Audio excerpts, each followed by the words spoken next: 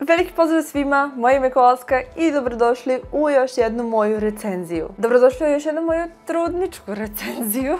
Koja je razlika između obične i trudničke recenzije? Recimo da su ove trudničke još manje profesionalnije od onih, od onih običnih. Šalom na stranu, ja mnogo volim da se šalim na svoj račun, ali to nije tema ovog videa. Tema današnjeg videa jeste jedan fantastičan miš koji ste vidjeli i u naslovu, verovatno i na thumbnailu, kako ja znam šta ste vi vidjeli. Magic. Dakle, danas je tu miš Trust Morphix. A, ovo Morphix mu toliko savršeno opisuje šta je ovo. Dakle, u pitanju je miš koji možete, modularni miš koji možete da stavljate sa strane određene delove. Vidjet ćete sada, sve ćemo, pokazati, sve ćemo proći, unboxing i sve.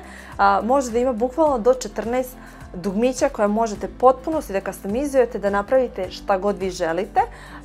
I naravno RGB, tako da Kovalska approved. Ali hajde sada zajedno da otvorimo ovaj miš i da pogledamo šta to sve ima unutra. E, hajde sada da otvorimo zajedno ovaj miš. Evo ovdje imamo ovako. I ovdje nam je USB, sada ćemo da izvučemo sve kompaktno spakovano. Da, da, da, da. vidimo ovdje imamo da mi nešto nije ostalo, naravno verovatno uputstva za upotrebu i naravno nalepnica. Možemo to da zalepimo negdje. Stavit ćemo ovo ovako negdje sa strane da nam stoji tu, a mi ćemo zajedno da pogledamo miš. Evo ovdje je kesica sa ovim zanimljivim dodacima što jedva čekam da isprobam. Mislim da će mi definitivno biti potrebno uputstvo za upotrebu, ne znam zašto sam ih sklonila sa strane. Ovaj lepi čičak, ovako se sve razčički. I prva stvar jeste, naravno, ovaj miš je na USB. Uh, ovdje imamo i GXT logo, to GXT je ispisano. I ono što je zanimljivo na ovoj trakici, ne znam koliko će sad uspjeti da fokusira, ali tu vam već piše for full functionality download free software. I bukvalno imate link. Ali pošto sam ja već spremno došla za ovaj video, sam već to spremila. I evo kako izgleda miš, veoma jednostavan, veoma lep, veoma prijatan na dodir. Imamo znači scrollić, klikiće ovdje na sredinu, pretpostavljam za pojačavanje e, DPI-a. Sa strane imamo tri dugmića i sa desne strane nemamo ništa, ali to možemo vrlo lako da riješimo tako što samo ovako i to je to.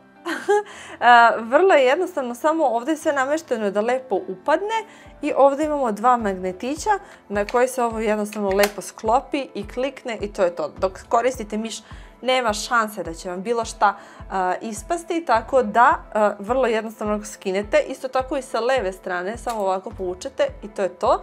I ovdje imamo, pošto imamo više dugmića sa ove strane koje možemo da dodamo, dakle ovdje imamo jedan dodatak sa više brojeva, ovdje imamo devet brojeva i bukvalno samo ovako namestimo i kada kliknemo ti brojevi će da radi. Možemo da ih namestimo onako kako mi želimo, da da rade šta god mi želimo.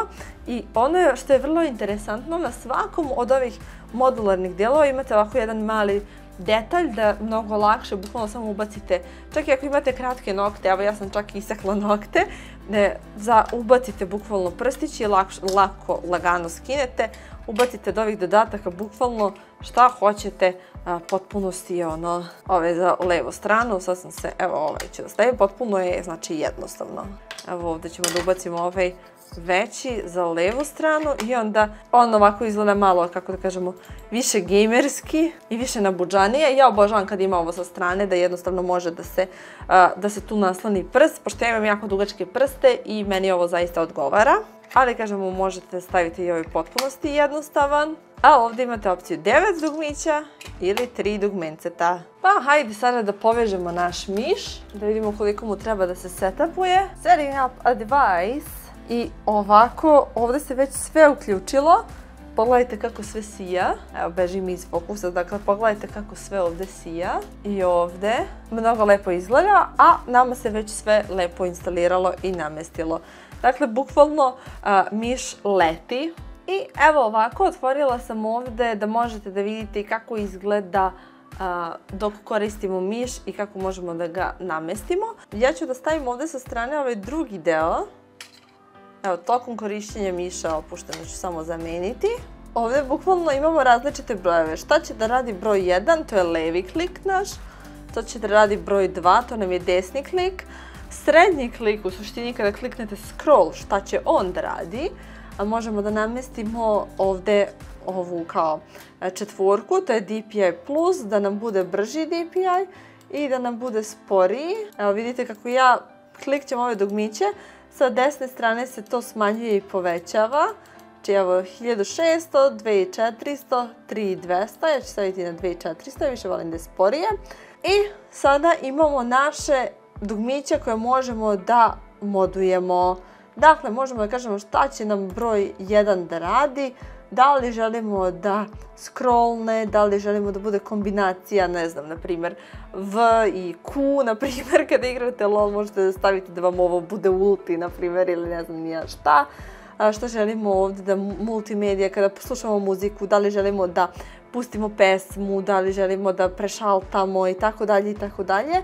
Da li želimo da nas se uključi kalkulator, evo moram ovako da pomerim, da, da nam se uključi e-mail, kalkulator, explorer, homepage, znači bukvalno možemo da napravimo šta god mi hoćemo ili da zaključamo DPI na neku od ovih opcija. Naravno možete imate opciju da sačuvate profil koji god vi želite, da čisto ukoliko više osoba koristi računar, dakle sačuvate, ne znam, profil 1 stavite, ne znam, Milica, na profil 2 stavite Pera, na profil 3 stavite Đura i tako imate sačuvano sve, ne mora svako stalno da namješta. E sad, ovdje imamo parametre za boju, možemo da stavljamo efekte, znači koliko brzo da nam se menja boja i sve.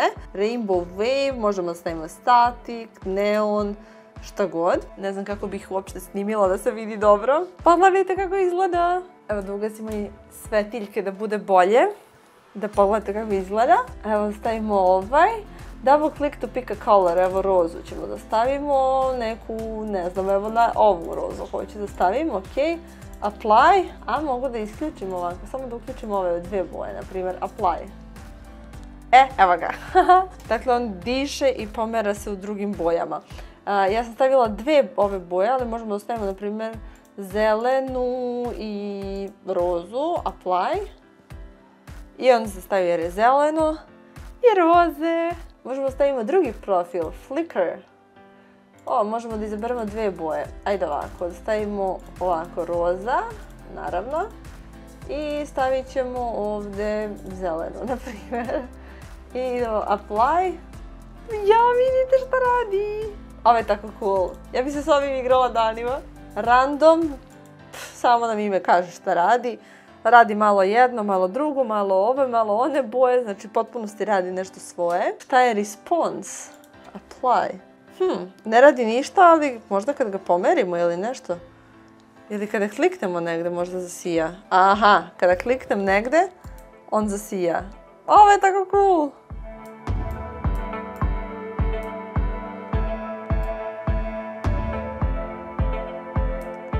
Ovo je super. I možemo da isključimo u potpunosti LED off, da isključimo naše osvetljenje. Ajde ovako, ostavit ćemo ga na rainbow. Neka menja svoju dugu i dugine boje. Dakle, u suštini jedan vrlo, vrlo lep mikrofon. Ovako lepo, atraktivno izgleda. I možete sami da namještate šta god poželite da dodajete dugmiće. Mislim da je ovo odlično za neke programere. mislim da je isto također odlično za nekoga ko se bavi, ne znam, videomontažom ili za nekoga ko se bavi photoshopom, da može potpunosti da stavi, na primjer, da mu je jedinica, ne znam, da kopira nešto, da mu je dvojka, da ne znam ti nija šta i tako dalje i tako dalje. Tako da mislim da ima zaista dosta opcija. Inače ovdje imate i pored lightinga i DPI settingsa imate i mogućnost da na da ispodešavate mikrofon onako kako želite. Dakle, koliko želite da je osjetljiv, koliko želite brzo da scrolluje e, i koja je brzina duplog klika. Također imamo i polling rate, dakle USB polling rate, koliko herca želimo, znači potpunosti možemo sve da namestimo kako mi želimo. Tako da eto ljudi, to bi bilo to. Ostavit ću vam dole link da možete da pronađete više informacija o ovom mišu. Da li mi se dopada ovaj miš? Mislim da je malo reći da mi se dopada. Dakle, potpunosti možete da ga customizujete kako god vi želite. RGB je uvijek valjka approved. Tako da, veoma funkcionalan, veoma lep, veoma elegantan.